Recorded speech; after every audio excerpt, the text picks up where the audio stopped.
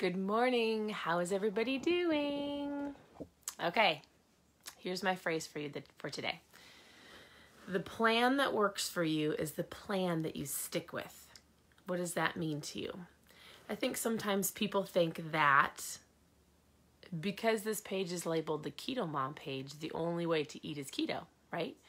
Or we have an accountability group and most people are trying to eat a certain way, right? They're trying to follow all of the right, like all the rules and all the regulations and the things to say yes and no to, whatever the case may be. But what if I said the plan that you stick with is the plan that works? I heard this phrase the other day and I was like, man, that's really good. Because oftentimes people jump so easily from, well, this isn't working for me. So then they go over here and this isn't working for me. And, ah, oh, this worked for my girlfriend, but I can't figure it out. Why? Because we are so ingrained in this instant gratification that people aren't willing to get to dig in their heels and to give it like to give it a long shot to give it a long like a long vision like a year when somebody hears like oh you're gonna have to work on your health and fitness for a year to get to where you want to be it would deter so many people, right? Nobody wants to hear that they're not going to see results for a year. I'm not saying that you won't, but what if I just simply said this? The plan that's going to work for you is the plan that you're going to stick with. It's a plan that you stick with long term, regardless of what it is, right? Making better choices. What I'm simply saying is this is this is an accountability group for you to check in every single day right? And whatever it is that it is for you, check in and say what you're working on. But my encouragement to you is to get your mind outside of a week or even a couple months and go, guess what?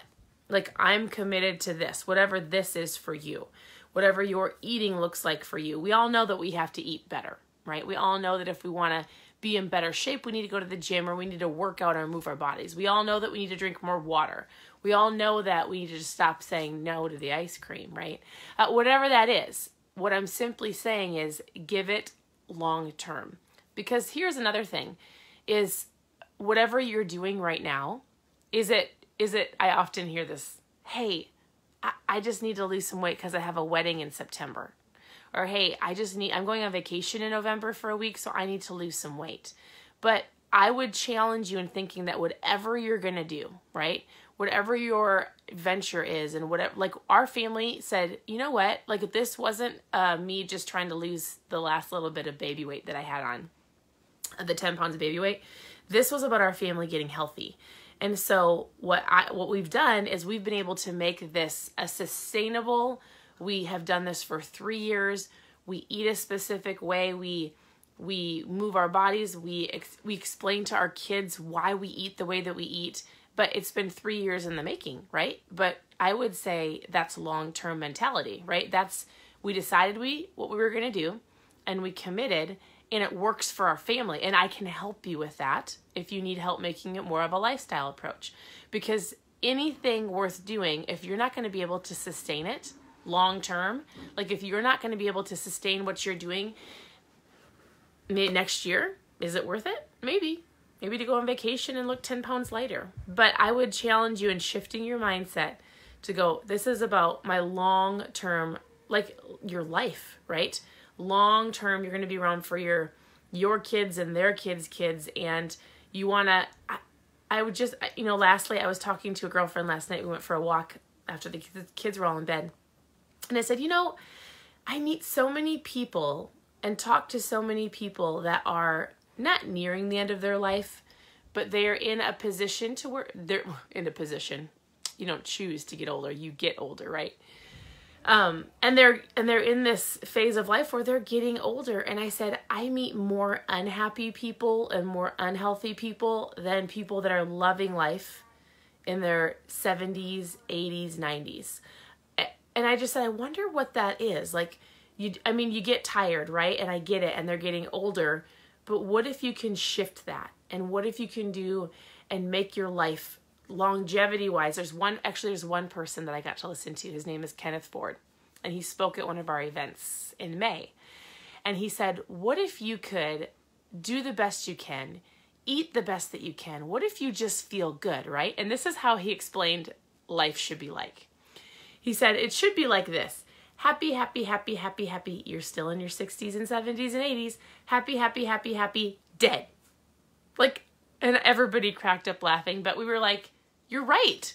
Like, why do we have to get to this place where long term you just you just exist? I don't want that. So my challenge to you today is think about two things, right? The plan that will work for you is the plan that you stick with.